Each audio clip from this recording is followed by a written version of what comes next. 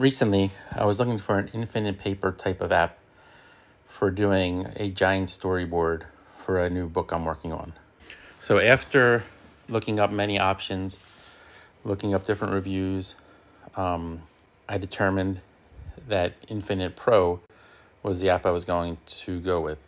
The other options, um, Infinite Pro is $4.99 US in the App Store. Um, there's another option that's $9.99 um, the price was one of the reasons why I went with Infinite Pro. But also for what I needed it for, um, Infinite Pro looked like it would suit my needs. So besides having infinite paper up, down, left, right, in all directions, this truly is infinite paper. You can see as I'm zooming out on this picture here. And it keeps going and it's disappeared at this point. Besides doing infinite paper on all sides, you can also do the type of drawing where you zoom in, and constantly zoom in to another picture like this.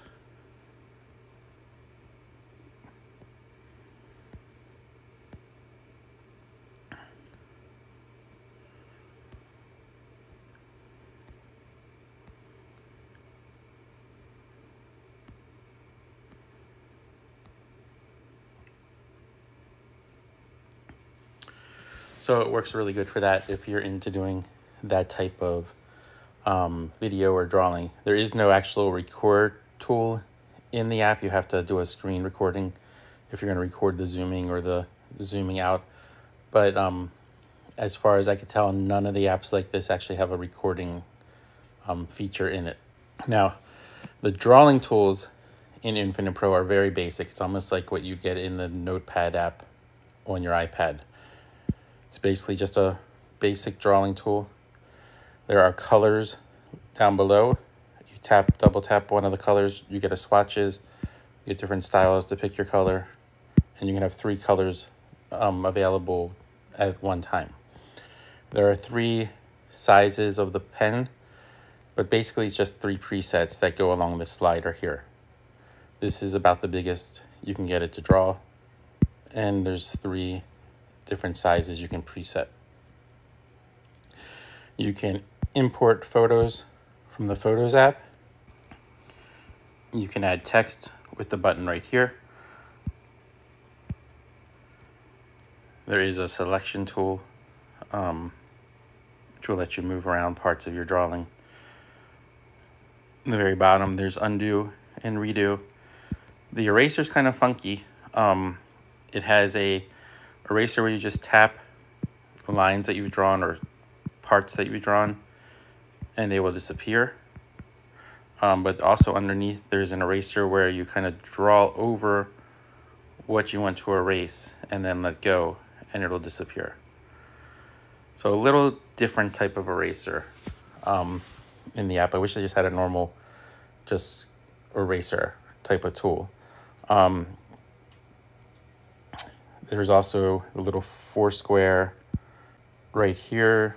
You have the access to your gallery underneath that is bookmarks. Bookmarks are really cool because you can bookmark if you're doing like the zoom type of picture. You can bookmark the different stages and easily get back to them just by tapping it and it goes right back to it. So you can, if you get lost, if you zoom in too far, zoom out too far, you can easily get back to it.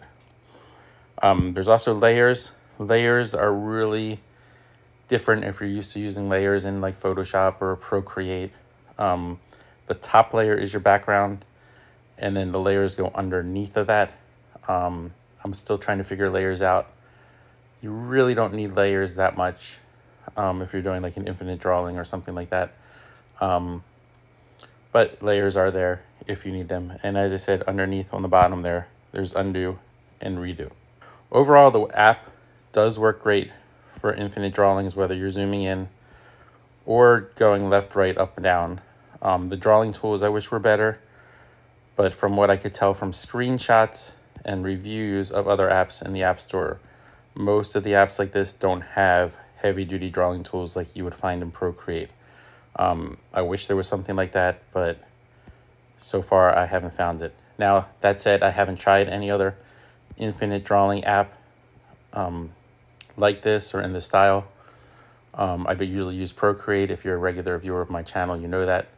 Um, I could just make a giant canvas on Procreate, but it really wouldn't be infinite. If I ran of room, I'd have to keep making it bigger and bigger.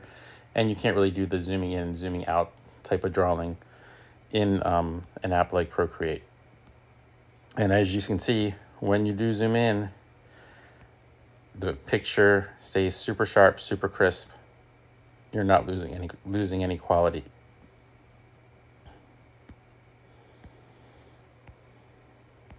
And I've taken a vid this video um, of this zooming in, putting it in, into um, LumaFusion. You can put it into another video editor and cut out the little pauses and breaks when you zoom in so it's a lot smoother of a video and kind of crop out the tools and stuff like that.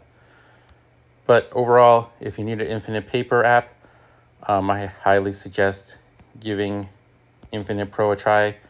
It is on the cheaper side, $4.99 um, versus prices of other apps that are out there. Like I said, I haven't tried them, so I can't say how it is versus drawing tools or features. Um, but for my needs, Infinite Pro does the trick.